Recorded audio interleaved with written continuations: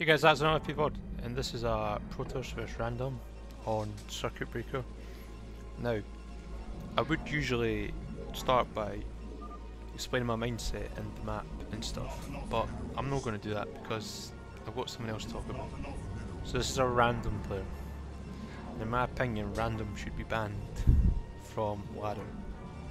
Because, especially as a Protoss player, I'm at such a disadvantage versus random players. So I usually I just proxy 2 gate in the middle of the map. Whenever same could be the same random guy, three games in a row. I'm just gonna proxy 2 gate in the middle of the map every time. Because here's my mindset. Right, so if I'm Protoss and he's random, it's big map this is a big map as well, I can't find him easy. Let's let's let's start with my mindset. First of all, I need to when you think about StarCraft, start of the game, I need to think of my opening build order. And for Protoss that decides everything my opening. So let's talk about some basic openers, like a one gate Dragoon opener. I'm not saying that's an official opener, but that expands, takes, appreciate like aggressive, like being aggressive with two gates Dragoon. That opens up lots of things. If I do one gate Goon, that means if he randoms Protoss, and or like if he two gates me or expands, then I just like play safe if you get me comfy, like, I'm at a disadvantage if he took, like, there's, he knows what build I'm most likely going to do, because he knows what race I am. So, and, but if I one gate Goon, then if he's Zerg, then I'll probably lose. Like, my chances are so slim to win, because I have to one base. Then you have to be a very superior player to win, if you're one base in versus Zerg.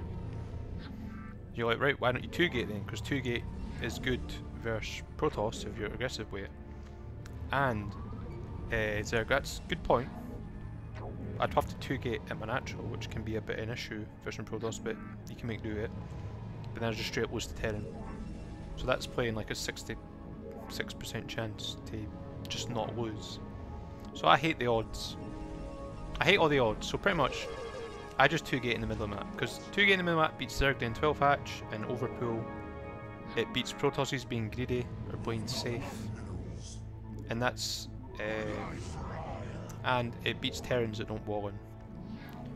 So I just I don't play with I don't think it should be like in competitive ladder. No one plays random. Certain races of like if you're Zerg and you're playing a random player, you can just nine pool. You're completely fine. Like nine pool is a legit opener versus every matchup. So I'll talk about the two. Even then, like there's two different random players. Ones that are really good at and ones that all in. Look at this guy like triple hatching, playing random. That's disgusting. He's only getting away with that because he's random. So what you want to do is when you're two getting versus their like proxy, um, he's actually kiting me so hard. You want to damage some of his workers with the pro while you're waiting for the two gate units to come in. And if he 12 hatches, you've got you've got the bigger chance of winning, but you can lose. What you have to do is you have to make sure the sunken takes damage before it gets up. And you have to pull back zealots that are about to die. You can't just let a zealot be red health and die, because its shields can regen. So it is worth losing a zealot to damage the sunken man. So yeah, I damaged it, lost the zealot, that's fine. Because you can dive on top of it soon. See, there's four zealots coming up.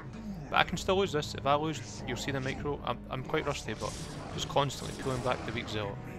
Three zealots is like what is that's enough to die on that dive on that sunken now because I've done damage to it. If that sunken was full HP, it'd be a bit of a problem. If he drone drilled. He should be targeting the weak zergling, that's his fault. Like I said, look, try I'm pulling back the weak zealots in a second. My rallies are a bit messed up, the zealots aren't, I'm stressed out. See, I'm pulling back the weak zealots, pulling back, that's what you have to do. And by the looks of it, when he starts running his drones, that's him most of the game. But for some reason he decides to send these drones across the map the rest of these Zerglings. In that situation, all you do is you leave you leave two zealots. They just stay in the main base and kill the spawn pool or kill the remaining drones. And you just chase them away the rest of the zealots. If he like came back round with Zerglings somehow, or still had lots of Zerglings, then just put the zealots on little nooks and crannies to be annoying. But I pretty much won. And mostly because he was being really greedy. Because he was he was basically going to four hatch just right off the bat, like with a spawning pool, and that's so greedy. And you'll find random players do that. You'll find they're very greedy or they all in. So it's quite hard to play that mind game. Like you're constantly behind in the mind game and behind in the build order. So I just put two gates in the middle of the map to be honest. I think that's the best build versus randomers. Like, at least if... He could have probably held this if he didn't was so greedy and build that four hatch. So I'm just probe drilling, you know. That's just select on your probes and right click in one mineral field so all your probes stat. And they shoot at the same time. Like I said, I'd, I'd pretty much... My chances of winning are higher than his if I 2 get and he 12 hatches. But there's still a micro war going on. Like if I can't get damage to the sunken, or if I can't kill some drones, or just uh, don't pull back the zealots that are red. I still have to do these things. I can't just A move.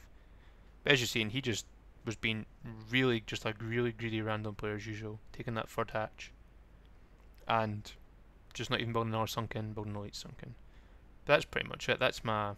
There's no map analysis for verse random. You just, especially if you're Protoss, like I said, if you're Terran or Zerg, it's slightly different. But I just think if you're Protoss, you better just haul in.